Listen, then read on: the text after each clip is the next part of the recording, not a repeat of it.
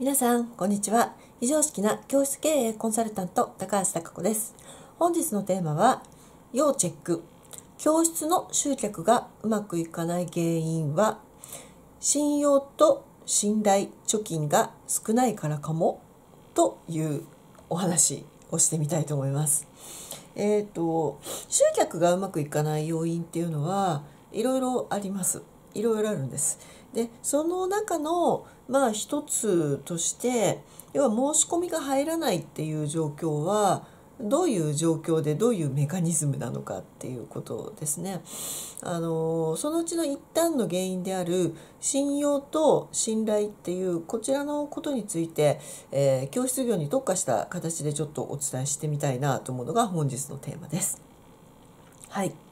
えー、それではですね、まあ、解説をしていきたいと思います。えーと、まずですねその人が物を買うというこの購買をしようと思うきっかけになる要因っていうのは何なのかっていう話なんですけどね。あのもちろんその人が欲しいものを例えば A さんが欲しいっていうものを B 教室が売ってるっていうのは当然ですけど、まあ、欲しい要因にはなってきますよね当然ねだから売れるっていうのは当然あるんですけれども買う段に至ってですねその B の教室が A さんにとってどんなに欲しいものを売っていたとしても B の教室がめちゃめちゃうさんくさくて怪しかったら絶対に買わないんですよ A さんはそこからは。同じ商品を違うところで売ってないかっていうのは探すと思います。だけど B 教室が A さんに信頼されていなければまず商品が買われない要はサービスを買わないイコール申し込みが入らないというまあそういう状況になるわけですよね。であのー、これっていうのがですね、えー、例えばなぜ教室業をえいきなり立ち上げた人、まあ、転職組でも構わないんですけれども主婦からの転身でも構わないんですけれどもその人がなぜ集客に苦労するのかっていう、まあ、当たり前のメカニズムなんですけど要はその人の実績がないないしは人柄的にどういう人だかわからないから信頼されてないっていう状態なのでまあ申し込みが入らないわけですよ。だからどんなにその状態で一生懸命単にあの自分の教室でこんなことやってますこういう生徒さん来ましたみたいなまだ来ましたっていうことを言えればまだいいですけどただ単に発信をしているだけでは当然購買されない要は予約が入らないということになります。なのでそのじゃあどうすれば信頼されるのかっていうねその話なんですけれどもあの信用と信頼っていう言葉があるんですけれどもねあの信用と信頼ってちょっとね違うんですよニュアンス似たように聞こえるかもしれないんですけれども、えー、どういうことかっていうとですね、まあ、信用っていうのは、まあ、人が誰かを信用するっていうのはその人が、まあ、過去にやってきたことがあって信用できるんですよね。で信頼っていうのはその過去にやってきたものがありその人が今そこにいてその実績を持って未来を信じるから信頼できるっていうことになるんですよね。だから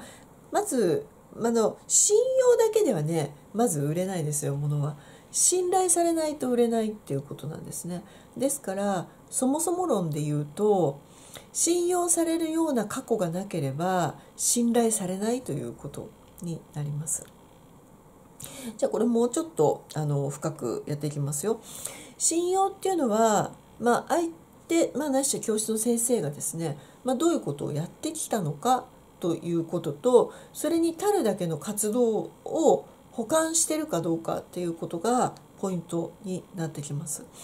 例えばあの新規で全くゼロから教室をやりたい人に関してはここほぼゼロだと思った方がいいんですよ教室業に関してたとえその前の会社がどんなにすごい大会社にいてどんなにすごいポジションでどんなにすごいことをやっていても教室業としてのキャリアスキルというものが欠如している場合にはまず過去っていうことから言うと信用はされないのがベースになります。だから信用されないんだっていうことを分かって発信とか露出とかをしていかないといけない。そもそも信用されてない。ってことはじゃあ信用されるためにはどうしたらいいでしょうっていう話なんですよね。どうどうしたらいいと思いますか？あのここね分かってない人結構多いですね。集客っていうと自分の教室がこんなに素敵だよとかこんなにいいところですよとかこういう設備持ってますよこういうレッスンしてますよっていうそちらのこうこちらからのアピールポイントばっかり発信する人とか多いんですけれどもあのやっぱりですねあの相手側が知りたいことを中心に発信していく方が当然ですけどまず信用されますまずね。でかつその頻度も、えー、集客できるとかできないとかかかわらず淡々と発信し続けている人の積み重ねを見てる人はちゃんと見てます。それが信用になるんですよね。だからあのよし始めるぞ。ブログ毎日書くぞ。1ヶ月だーと書きました。あとピタッと止まった。これ信用されないタイプの人です。本当にやるって決めてちゃんとお客様のお役立ち情報をコツコツコツコツ1日1記事ないしは2日に1記事でもいいです。長くちゃんと発信し続けてる人の方が当たり前ですけど信頼されます。信用か。まずね信用されるんです。だからあのよくねあの教室すぐ立ち上げました、えちょっとブログ書いてみました。ちょっとインスタやりました。ちょっとフェイスブックやりました。とかっていう方ちょっとずつのちょっとずつだとそもそも信用される量に足りてない。ですね世の中的にですよ。あの世の中が全然情報の時代じゃない時だったらその程度でも信用されたんです。だけど今って情報が山ほどあってまあ選ぶ方の人からすると、ね、選びたい放題っていう状態の中においてその程度のあの出し方ではあれば信用するに足りないという判断をされて結果信頼されないので申し込みが入らないということになるんですね。ですからあの新規の人で特に出だしですねそこはもう実直愚直に正しい方法で発信し続ける必要があります正しい方法っていうのは教室のアピールをしまくるんじゃなくて来てほしい人が読みたい情報とか知りたいことを中心に開示していくっていうこれが正しい方法になります。これを定期的に発信している人は必ず信用されます。定期的に長期間にわたって。例えばあの私の例で言うと会社員にいる間に独立は決めていたので覆面だとしてもきっとこういうことが私の教室に来る未来の生徒さんにとって嬉しいに違いないっていうブログを毎日1記事ずっと8ヶ月更新し続けました。だからあの1月に募集をかける時にほぼ全席満席になる状態を作ることができたのはその半年以上のブログの積み重ねで人が私を信じてくれたからというのが一番大きかったと思います。だからまず信用を得なくては集客って難しいんですよ。だけれどもこれっていうのはめちゃめちゃ地道な継続が入ってくるような内容になるんですね。ですから大概の人そういうことをやったことがない方に関してはこんなんで本当にいいんだろうかとかね。こんなんで本当に私大丈夫なのとかこんな大変なの面倒くさいとかね。そういうふうに思っちゃうんですよ。そうすると結局やめちゃうじゃないですか。やめちゃうから執着できないんですよ。あの正しい内容で正しく1年間ずっと休みなくブログを書き続けた人正しい方法でですよ内容が違ってたらダメなんですけど正しい方法でやってて集まらなかったケース聞いたことがないです。うん、だから皆さんがそれぐらいやらなくて脱落していくから、えー、その人は残ってるということで信用されるわけですよね。もう一つ私のあのエピソードをお話ししましょうかね、えー、私はそういった形で会社員になる前からブログは書き続けていました。もう今から約10年ぐらい前の話です。でその頃は今ほど SNS が発達していない時期で、まあ、集客っていうとブログかホームページ頑張ろうねっていう、まあ、そういう世界だったんです。で私は両方とも持って2本で回してやってた人だったんですけど主に人と出会う経路はブログこれが多かったんですね。でそのブログを書き続けるじゃないですかさっきみたいなあの視点で。えーと、だから例えばオーブンとかっていうと自分がもちろん新しいのを試作したくてオーブン買うんですけど買ったオーブンのレポートとかをやりますね。あの要は新機種だからまだ買ってないけどどうしようかなって悩む人がいます。でその人のためにパン作りの視点からここのあれは温度がここまで上がると思ったけど案外上がんなかったなとかここのあのリモコンっていうかあのボタンはすごく使いやすくてとか焼き加減の焼き色はこうなるよとかいう自分がまんまやったことを写真とともにアップしていく。であのそのメーカーを批判するとかじゃなくて事実を書くだけで私としてのま感想も最後にはつけるっていう、まあ、そういうやり方で上げる記事とかですね。まあ、喜ばれます。感謝のコメントとかも入ったりします。まさにどこそことどこそこを買うのを迷っていたのでこの記事はとても参考になりましたとか、まあ、そういうご感想で感謝される。でそういったことが続いてると、まあ、読者の方は増えていきます。ここに来れば自分が知りたい情報をいっぱい書いてくれてるウェブサイトだからっていうのを理解していただけるようになるわけですよね。そうすると結果どうなっていくかっていうとまあファン化していきます。でその何か困ったことを調べた時に必ず私のブログが一番上に来ているという人が一人いらっしゃいました。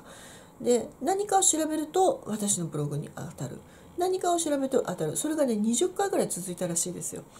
そしたらその人はもうパンについて習いたいことがあるのであればもうこの人のところに行くしかないということで、えー、私が当時やっていたパン教室ですねそっちにいらした方で私は集客活動と呼ばれることは特にその人に向かってはしていないんです。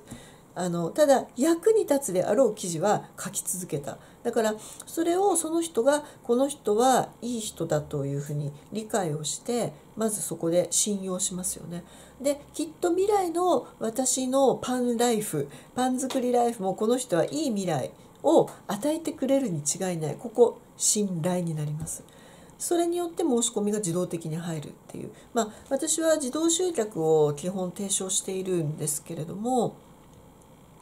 それをするにはですね結構地道に時間がかかるんですよだから一過性の形のものでパーンとやってものすごく割引率が高かったりめちゃめちゃ魅力的なオファーなのに激安だったら一瞬は人がポンと来るかもしれませんでもそれっていうのはどちらかっていうと採算度外視でやっていることなのでそんなしょっちゅうしょっちゅうできるものじゃないですよね。だからあの、皆さんがおそらく勘違いしてるのはうん教室を作りました宣伝しましたすぐに来るって思ってる方が意外に多いっていうことです。あのこれねすぐに来ないですよ。あのもう一度考えてほしいんですけど信用と信頼って時間かかります。過去の信用とあと未来の信頼ですねだから長い間やってる先生は当然ですけど長期間にわたって人を教えてきたっていう信用があるから当然ゼロの人よりはスタート地点では、えー、集客しやすい状況は作れてます。だけれどもその先生の発信が下手だったり外向きの見せ方があの木をてらうとか、えー、そういう意味ではなくってその正しい価値を発信で伝えていなければ信頼されないんですよね。だから長年やってる先生でも信頼されなければ予約が入らないということになります。信用はあるけどねみたいな感じです。それを考えると新規の人新しく授業を始めるっていう人がどれだけ努力しなきゃいけないのかっていうのはちょっと分かってほしいんですよだからちょっとやそっとのことでへこたれてほしくないっていうことです仕事ってそんなに甘くないですよあのー、がっつり儲けたかったらですよ。趣味で3万とか5万だったらそんなことは考えないで楽しくやってりゃ3万5万ぐらいどうにかなります。だけどやっぱ304050とかを積んでいくような仕組み作りにしたい場合には人に信じてもらわないとまずそのお金が入金されませんのでそういう意味では結構あのしっかりやっていかないとダメでしっかりやるっていうことはあの地道にちゃんと続けることができる人が最終的にはお客様に支持され選ばれるという、まあ、そういう状況を作っています。だからあの信用をまず作るのが先でその後ろに信頼があってだから予約が入るっていうこのメカニズムをすっ飛ばしてですねあのいきなり予約がバーンと入るっていうことはまずないんですよだって信頼しないから人って。でしかも厄介なことに今の時代は安かろう悪かろうでは皆さん満足しないんですよね。あの適正な価格自分にとって適正な価格でそのサービスとかが提供されているものに対してはお金払うんですけれどもそうでないものにはねただでも行かないですよ今人って。だから安くすれば人が来ると思ってる人は大きな勘違いだし逆に高いと人が来ないと思ってるのも大きな勘違い両方とも勘違いなんですよね。適正価格価値と天秤にかかるので欲しい人にとっての価値をどう提供できるかっていうことを真剣に考えるのがどちらかというと先生側の方の、えー、やらなくてはいけないことになります。ですから、えー、ある時ね例えば突然先生がパーンと集客できるようなこととかってあったりするじゃないですか。でそれは確かに私もすごく私のクライアントさんで先生長年やってきている方で、えー、見せ方とあとその人のサービスの構築の組み直しと売る相手を考え直すっていうこの3つをやり直してパーンと売れる方とか結構多いんですけどでその方たちっていうのはやっぱり信頼できるに足りうる信用を積み重ねてきてる活動は昔にしてるんですよ。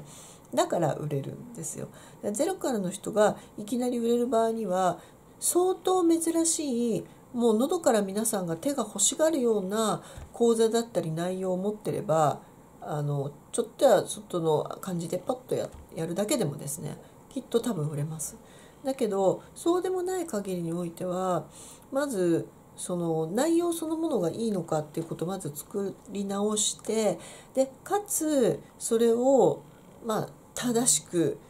地道に発信をし続けるっていうこれがで両輪でできないと今後の新規の方の集客っていうのはかなり厳しいなっていうのを感じている今日この頃です。はいえー、以上ですねまとめると,、えーと、教室の集客がうまくいかない要因の信用と信頼の貯金が少ないからということに対する、えー、対策対応の答えはまず自分主導ではなくて、えー、お客様が欲しいと思われる情報を開示していくことを継続的に粛々と長期スパンでやっていく。これが信用を作る大きな一つの要因になりますので今ご自身がそのような発信ができていないななんだかイベントレッスンとか教室の告知案内掲示板っぽいブログの書き方ばっかりしてるなと思う方はちょっと一考してみていただければというふうに思っておりますので、えー、ご参考になさってください。それでは